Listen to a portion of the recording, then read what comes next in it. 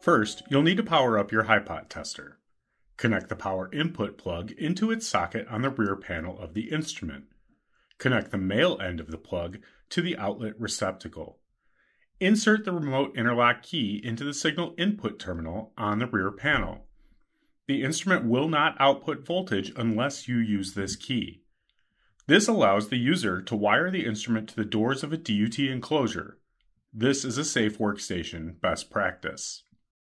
Press the power button on the front panel of the HiPot. This instrument will automatically navigate to the main menu. The HiPot instruments have versatile user interfaces that includes a touch screen and two push buttons. There are three main touch keys and two buttons on the HiPot interface. Use the Perform Test key to navigate to the Perform Test window. Use the back key to return to the previous menu. Use the Home key to return to the main menu. The buttons are designed for operators that are wearing high voltage gloves. Use the Toggle button to scroll through the menu parameters. Use the My Menu Select button to either make a menu selection or choose the My Menu option. My Menu allows you to configure your own custom menu.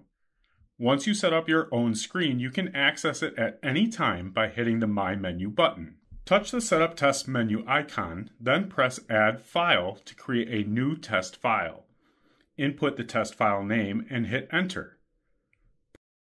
Press Add Step to create a new test. Press Test Type to change the test. Select ACW to change Step 1 to an AC HiPot test.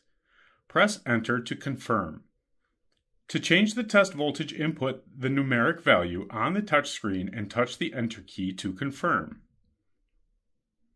To navigate between test parameters, either input the value and press the Enter key or swipe left and right to change parameters.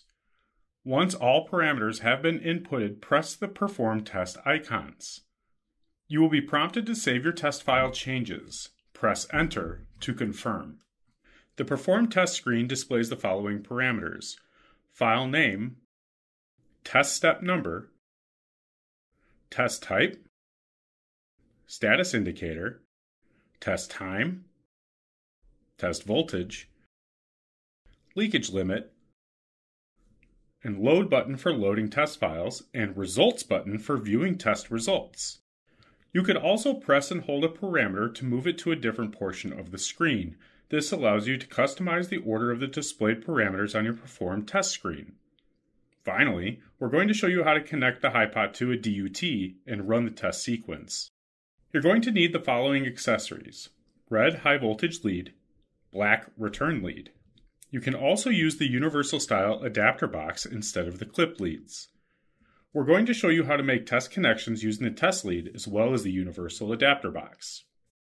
Using test leads, connect the black return lead to the return terminal. Then connect the high voltage lead to the high voltage terminal. Connect the return lead to the chassis of the DUT and connect the high voltage lead to the current carrying conductors of the DUT.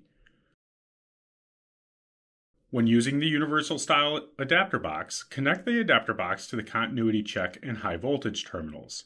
Then connect the black return lead to the return terminal.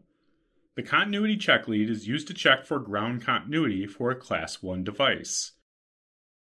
Connect the return lead to the chassis of the DUT, then plug the three prong cord of the DUT into the adapter box. Close the DUT enclosure door and stand back. Push the Test button to run your test sequence. To view your test results, press the results icon. Press the individual step to get detailed results.